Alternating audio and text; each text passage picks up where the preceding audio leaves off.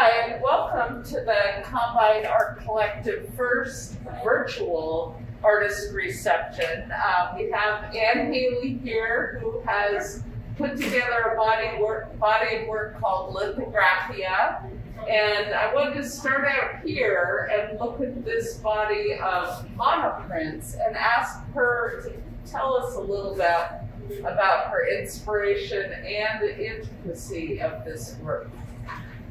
Thanks, Trisha. I really appreciate being here and being able to show my work. These are paper weavings.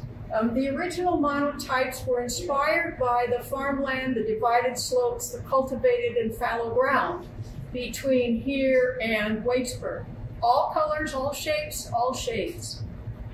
To print them, I used what's called a rainbow roll so that I had a different two, two different colors on the same roll blended together. And when I wove them together, the, the blending of the rainbow rolls from two different prints gave a real shimmering effect of color. These are done by weaving across and weaving down. They take hours and hours and hours to do. But the very best time to do this kind of work is, was when my husband was watching the NFL last winter. And I had plenty of time to get an awful lot done. So I've known you almost as long as I've been in uh, Walla Walla, and uh, it's been really great to watch sort of how your artwork has expanded to this amazing body of work. But I wanted to start by asking you, when did you decide to go to art school in your life, and because it has inspired me. I'd like to hear a little bit about that journey. Well, one of the questions that I thought you would ask was, when did you first start making prints? And I have a print that I made in the third grade that my mother kept, so I really am returning to my roots. But all through school, I was college driven and college bound. And so I really didn't do that much art, but I did a lot of knitting and a lot of quilting and a lot of macrame. And I spent, I did a degree in librarianship and ran public libraries for 30 some years. When I finished with that, I decided to go back to school because I'd always wanted to see if art and design was a path I wanted to follow. So I started with a class at a time at the community college and then went to Walla Walla University, and I spent four years doing that. And then I wanted more training, training that was not available here. And uh, so I kept looking around, was, was, am I looking for an MFA program, a BFA program, what am I interested in? And my husband kept saying, something will be right for you. And what turned out to be right was the Pacific Northwest College of Art in Portland because I wanted studio training. I wanted to know more about these processes. And I started with painting and photography because the printmaking classes were full. And then I, the second year, I was early in line, so I was able to register for the printmaking class, and I loved it. Um, although I finished a degree in painting, because that's where I started, and that's where I was grounded, I still spent most of my time in printmaking um, and ended up um, working through various kinds of methods of printmaking, engraving, or etching, uh, relief, uh, silk lithograph, um, in layers, in all kinds of varieties of use. Um, so I've really found a, a new path, and it's always a risk to, to move from to go from a very, very long successful career to something that is brand new and difficult. But I have to tell you, I loved art. Even though I worked my full ass off trying to cope with 20 year olds, I loved it. Um, so one of my favorite classes was, was lithography. And you might ask me, what was my aha moment for lithography? And this was my aha moment. Um, and the assignment was to do a print that were layers of digital and lithograph. Um, it was the very last assignment of the very last ter- uh, semester. And I finished it and I went, aha, this is what I want to be doing. And it was this print that propelled me forward in wanting to create my own studio. So I bought an etching press and outfitted it with a UV exposure unit and um, inking stations and you know all the accoutrements and equipment for a an art studio, a printmaking studio. Now you want I'll tell you a little bit about this body of work and the inspiration from that is really between here and Waitsburg, in around my husband's family farm, which is on Miller Road. And the way I would do prints is I would either remember something I had seen, a pattern, a shape of cultivated ground, or I would work with photographs and sketch from them. Um, uh, and um, each one of these is a little different. Um, the palettes are similar. Um, some are quite realistic.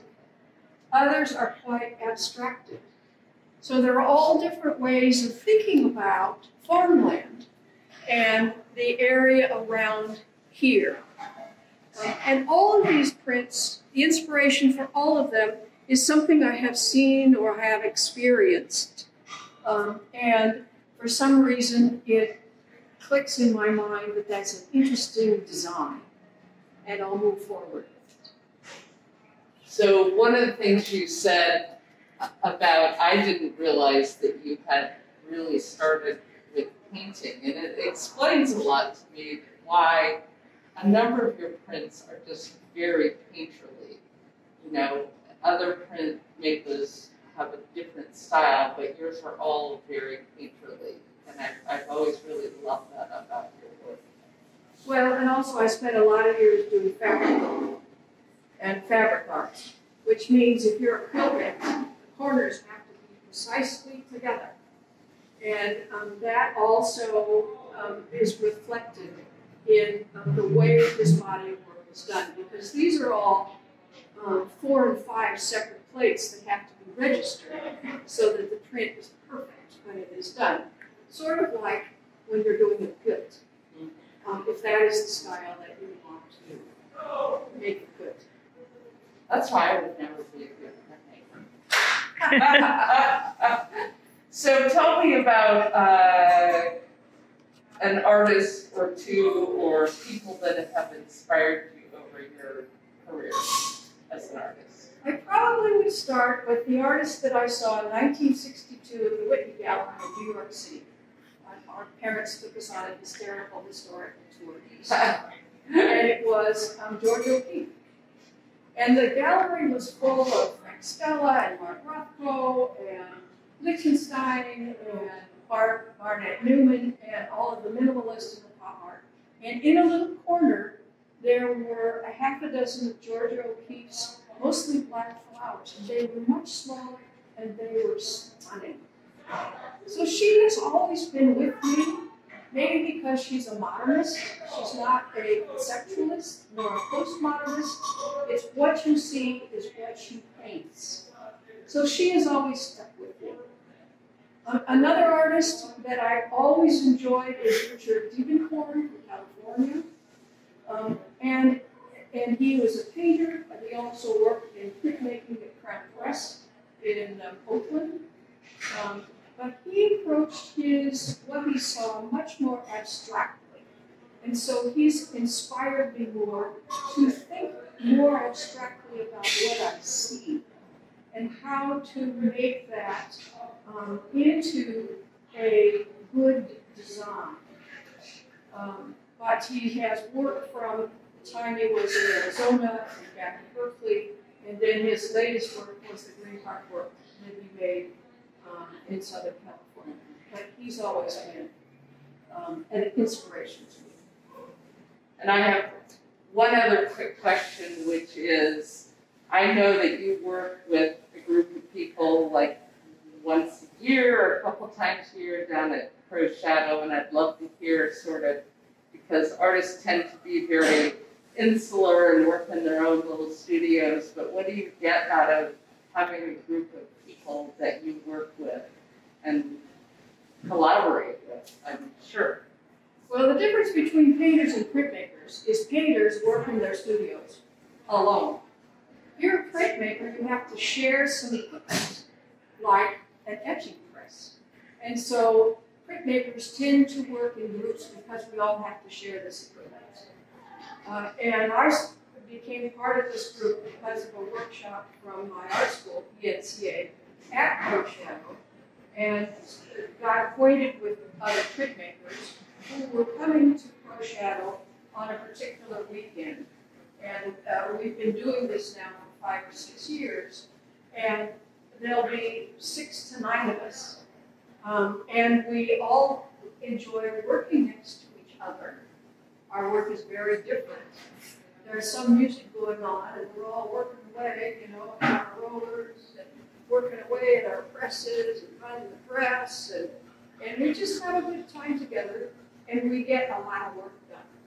So the gift of being able to work in Shadow are huge blocks of time. Um, to be able to work through an idea and be able to um, manifest it um. And one last, this is a very different, something that I haven't seen from you, so I don't know if this is new or I just haven't seen it, but talk to us a little bit about this group and what inspired you to do this.